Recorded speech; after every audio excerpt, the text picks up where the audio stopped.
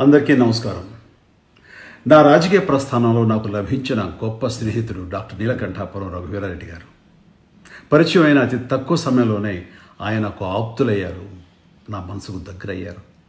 దానికి కారణం ఆయన ఉన్నత వ్యక్తిత్వం ముక్కుసూటితనం నిర్భీతి సామాన్య ప్రజల పట్ల ఆయనకున్న ప్రేమాభిమానాలు. దాంతోపాటు ఆయన నా పట్ల చూపించే ఆత్మీయత వాత్సల్యం. ప్రజా జీవితంలో రఘువీరారెడ్డి గారు లాంటి వ్యక్తి చాలా అరుదుగా ఉంటారన్నది నా స్వానుభవం. ఈ సీమకు నీళ్ళు తేవాలని నేను ఇంద్ర సినిమాలో నటించాను. కానీ అది నిజం చేసి నీరందించిన నిజమైన హీరో డాక్టర్ రఘువీరారెడ్డి గారు. దాని ప్రారంభోత్సవానికి నేను వచ్చాను. నా ఇంకా గుర్తుంది. ఈ సీమకి ఏమి చేశాడు అంటే దాహం దాహం అంటున్న ఈ సీమ గొంతు తడిపాడు. తనని నాయకుడిని చేసిన తన వాళ్ళను ఈ విధంగా తన కృతజ్ఞత తీర్చుకున్నాడు. ప్రస్తుతం మా రాజకీయ స్తబ్దతతో నేను సినిమాలు చేసుకుంటుంటే ఆయన రైతు అవతారం ఎత్తాడు.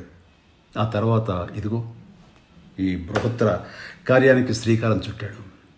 ఈనాడు దాన్ని పూర్తి చేసి తన జీవితానికి ఒక అర్థం పరమార్థం కల్పించుకున్నాడు. నిజంగా hats off hats off. Raghuveera Reddy గారిలో దైవభక్తి ఆధ్యాత్మిక చింతన మెండుగా ఉన్నాయి.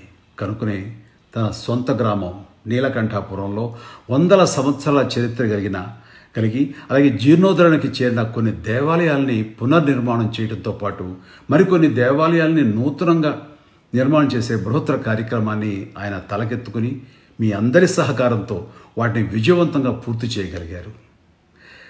మన ప్రయత్నంలో నిజాయితీ ఉండి సంకల్ప బలం ఉంటే ఆ దేవుడు ఆశీస్సులు లభిస్తాయని చెప్పడానికి రఘువీరారెడ్డి గారు చేపట్టిన ఈ దైవ కార్యక్రమమే ఉదాహరణ. దీని ప్రారంభోత్సవానికి రావాలని సంవత్సరం క్రితం ఆయన నన్ను అడిగారు.